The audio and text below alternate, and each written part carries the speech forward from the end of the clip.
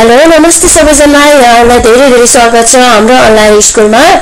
जहाँ चाहिँ विभिन्न किसिमको भिडियोहरू अपलोड गर्दै आइरहेको छौँ हाम्रो सब स्टुडेन्टहरूलाई टेवा पुगोस् भनेर यसरी नै आज पनि मैले एउटा भिडियो लिएर आएको छु जो भिडियो एकदमै इम्पोर्टेन्ट भिडियो छ स्पेसली यो टियुको इक्जाममा सोध्दै आइरहेको यो नेटवर्किङ पोर्सनसँग रिलेटेड भिडियो हो। मैले तपाईँहरूलाई आज एउटा यस्तो न्युमेरिकल गर्न गइरहेको छु। यो विभिन्न न्युमेरिकल पोर्सनको सब्जेक्टहरूमा चाहिँ सोध्दै आइरहेको क्वेसन हो। Let's start go through our video मलाई एउटा क्वेसन छ जस्तो suppose change the multicast IP address two two four dot one nine two dot six dot one two and at the rate multicast physical address यहाँ चाहिँ तपाईँसँग एउटा कुनै multicast group छ अथवा मल्टिकास्टको तपाईँलाई एउटा आइपी एड्रेस दिएको छ यति भनेर होइन? तपाईँलाई के गर्नुपर्नेछ भने इन्टरनेट मल्टिकास्ट फिजिकल एड्रेसमा चेन्ज गर्नुपर्नेछ होइन? स्पेसल्ली यो इथरनेट मल्टिकास्टिङ भनेको म तपाईँलाई बुझाइदिन्छु। इथरनेट मल्टिकास्टिङ भनेको स्पेसल्ली के हुन्छ भनेपछि तपाईँले जब हार्डवेयर कम्पोनेन्टहरू चाहिँ एउटा के भन्छ सोर्सदेखि डिस्टेन्स डिस्टेसन पुग्नको लागि जुन तपाईँले बाटो सेट गर्नुहुन्छ। त्यतिखेर विभिन्न किसिमको हार्डवेयर कम्पोनेन्टहरू सेट गर्नुहुन्छ। त्यति बेला तपाईँसँग के हुन्छ एउटा नेटवर्क कार्ड हुन्छ होइन?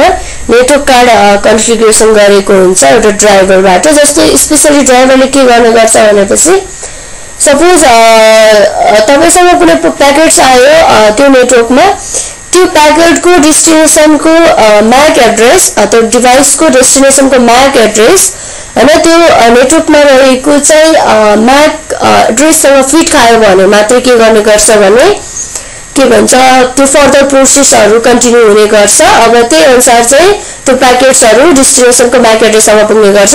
यहाँ पनि स्पेसली त्यही गर्ने हो होइन? एउटा कुनै मल्टिकास्ट आइपी एड्रेस यति दिएको छ। त्यो डेस्टिनेसनसम्म पुग्नको लागि चाहिँ तपाईँले त्यसको फिजिकल मल्टिकास्ट एड्रेस पत्ता लगाउनु पर्नेछ। ल अब तपाईँलाई म एकदम सरल तरिकाले बुझाउँछु। यहाँ हेर्नु त two two four dot one nine two dot six dot one छ। तपाईँले यहाँ केही पनि गर्नु पर्दैन एकदमै सरल छ। जस्ट म मेरो भिडियोलाई फो गरिदिनु होला। र अब हेर्नु त two two four dot nine one nine two dot six dot one छ होइन यसलाई चाहिँ स्पेसली टु टू फोरलाई तपाईँले बाइनरी डिजिटमा कन्भ बाइनरीमा कन्भर्ट गर्नुपर्ने छ स्पेसली सकेसम्म तपाईँले एट डिजिट एटवटा डिजिटलाई फ्लो गर्नु होला मैले एटवटा डिजिटहरू लिएको छु के भन्छ one two three four five six seven eight होइन? आठवटा लिएको छु यो टु टू फोरको बाइनरी डिजिट हो सायद मलाई लाग्छ तपाईँलाई भन्नु पर्दैन होला। वान नाइन टूको पनि मैले बाइनरी कन्भर्जन गरेर यति लिएको छु। के भन्छ? आठवटा डिजिट लिएको छु। सिक्सटिनको पनि मैले बाइनरी कन्भर्जन गरेर आठवटा डिजिट लिएको छु र वानको पनि मैले बाइनरी कन्भर्जन गरेर आठवटा डिजिट लिएको छु। अब के भन्छ? जाउँ त्यसपछिको स्टेप्सहरूमा converting right twenty three bit of IP multicast address to एक्जेटिक्समा we get होइन? अब तपाईँले के गर्नुपर्नेछ? यो स्टार्टिङ वानदेखि लिएर तपाईँले राइटनुहोस् ट्वेन्टी थ्री बिटसम्मको लागि तपाईँले ट्वेन्टी थ्री बिटसम्म कन्सिडर गर्नुपर्नेछ। हेर्नु त मैले ट्वेन्टी थ्री बिटहरू लिएको छु। एक दुई तिन चार पाँच छ सात आठ। नौ दस एघार बाह्र तेह्र चौध पन्ध्र सोह्र सत्र अठार उन्नाइस बिस एक्काइस बाइस तेइस। तेइस वानसम्म आयो मेरो तेइस। हेर्नु। अनि त्यसपछि अब मैले यहाँसम्मको डिटेल्सलाई इन्क्लुड गर्नुपर्छ। अब यो सबै यो सबै डिजिटलाई तपाईँले यहाँ लिनुहोस्। मैले लिएको छु वानसम्म यहाँ लिएको छु। One zero zero zero zero zero zero zero zero zero one zero zero zero zero zero one zero zero zero one होइन अब तपाईँले के गर्नुपर्छ प्रत्येक चार चारवटा डिजिटलाई छुट्याउनु मैले यहाँ चारवटा छुट्याएँ यहाँ चारवटा छुट्याएँ यहाँ चारवटा छुट्याएँ यहाँ चारवटा छुट्याएँ यहाँ चारवटा छुट्याएँ त्यसपछिको हेर्नुहोस् त त्यसपछिको डिजिट भनेको कति हुन आउँछ के अरे twenty one twenty two twenty three भनेपछि यहाँ चाहिँ चारवटा डिजिट पुग्दैन। मैले जस्ट वान जेरो जेरो मात्रै लेखेँ यहाँ। यो बुझ्नु होला तपाईँले। अनि त्यसपछि अब तपाईँले यति डिजिट लिइसकेपछि यसभन्दा अगाडिको यो डिजिटहरूलाई इग्नोर गरिदिनु होला लेख्दै नलेख्नु होला। त्यसपछिको डिजिट कुनै कामै छैन। अब हेर्नु त के भन्छ हाम्रो वान जेरो जेरो जेरो यहाँ कति हुन्छ? वान छ। वान लिनु।